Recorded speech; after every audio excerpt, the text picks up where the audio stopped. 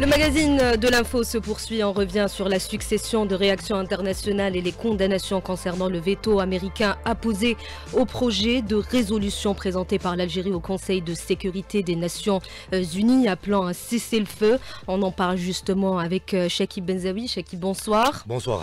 L'Algérie euh, ne cesse de réitérer sa détermination inépuisable à poursuivre ses démarches au sein du Conseil de sécurité des Nations Unies, comme je viens de le dire, pour le pousser à assumer entièrement ses responsabilités et a appelé un cessez-le-feu à Gaza, où les massacres sionistes contre le peuple palestinien désarmé se poursuivent dans l'impunité la plus euh, totale.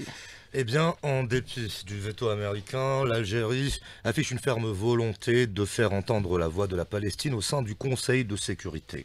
Dès l'entame de son mandat en janvier 2024, en tant que membre non permanent du Conseil de sécurité, l'Algérie, sur instruction du président de la République, a intensifié ses efforts pour faire entendre haut et fort la voix du peuple palestinien au sein de cet organe central de l'ONU, en convoquant des réunions d'urgence consacrées à cette juste cause. Cependant, les efforts d'Alger se heurte à l'incapacité du Conseil de sécurité à s'élever à la hauteur des appels et aspirations des peuples, notamment après son énième échec mardi à appeler à un cessez-le-feu immédiat dans la bande de Gaza suite au veto des États-Unis lors du vote sur un projet de résolution présenté par l'Algérie dans ce sens. En réaction, l'Algérie fidèle à ses principes par la voix de son représentant permanent auprès des Nations Unies, Amar Benjema, a réaffirmé qu'elle ne s'arrêtera pas jusqu'à ce que le Conseil de sécurité assume pleinement ses responsabilités et appelle à un cessez-le-feu.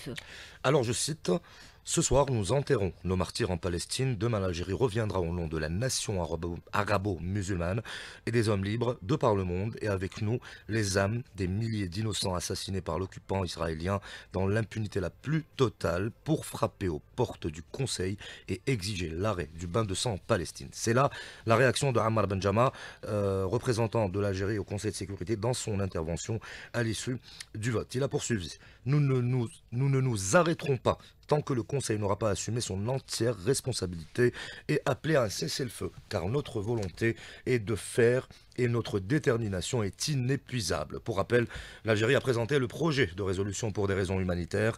13 États ont voté en faveur de ce texte, tandis que le veto américain a été dénoncé par plusieurs pays, y voyant pour certains un feu vert à l'entité sioniste pour perpétrer davantage de massacres en Palestine occupée. Parallèlement aux efforts diplomatiques de l'Algérie en vue de mettre fin à l'injustice que subit le peuple palestinien, la procédure judiciaire intentée par l'Afrique du Sud contre l'entité sioniste devant la Cour internationale de justice se euh, poursuit.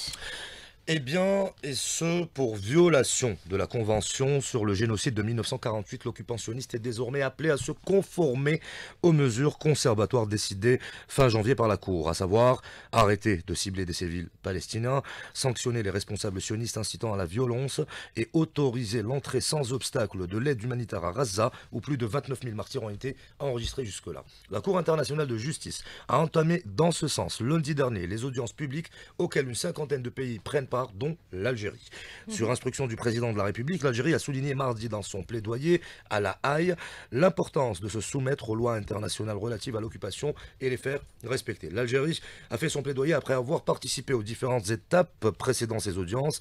Elle a déjà présenté un réquisitoire et formule des observations sur les exposés écrits d'autres pays conformément aux différentes mesures annoncées par la Cour internationale de justice. Toujours dans le cadre de cette démarche visant à défendre la cause palestinienne, il est nécessaire de rappeler que l'Algérie avait lancé fin 2023 sous la conduite du président de la République un appel à tous les hommes libres du monde, les juristes arabes et les instances et organisations internationales à intenter une action judiciaire devant la Cour pénale internationale et les organisations internationales de défense des droits de l'homme contre les violations de l'entité en vue de mettre fin à des décennies d'impunité pour les crimes commis contre les Palestiniens.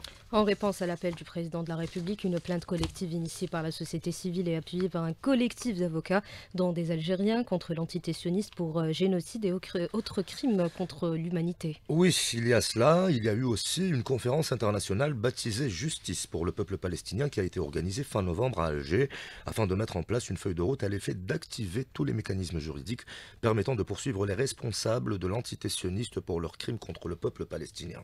Le soutien indéfectible de l'Algérie à la juste cause palestinienne a été réitéré à de nombreuses occasions. La dernière en date lors du 37e sommet de l'Union africaine tenu la semaine passée à Addis Abeba où le ministre des Affaires étrangères Ahmed Attaf, en sa qualité de représentant du président de la République à ce sommet, a appelé à contribuer aux efforts diplomatiques internationaux en faveur de la question palestinienne, notamment sur le plan juridique ad vitam aeternam, l'Algérie demeure attachée à ses principes et au soutien indéfectible à la cause palestinienne, comme l'avait dit Feu Houari Boumedienne.